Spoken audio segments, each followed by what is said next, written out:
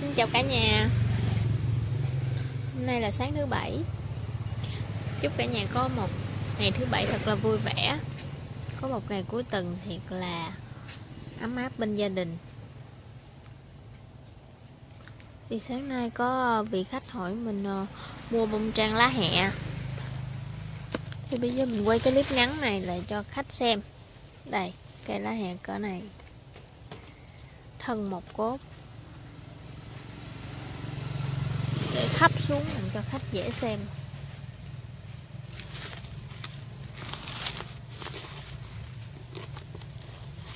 Thân một cốt thân khá là to, cỡ bằng ngón tay út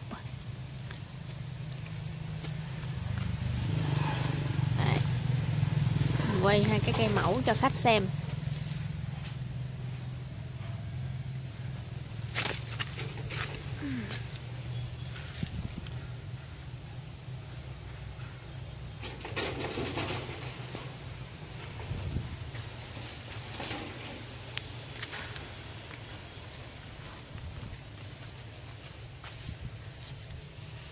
Có búp búp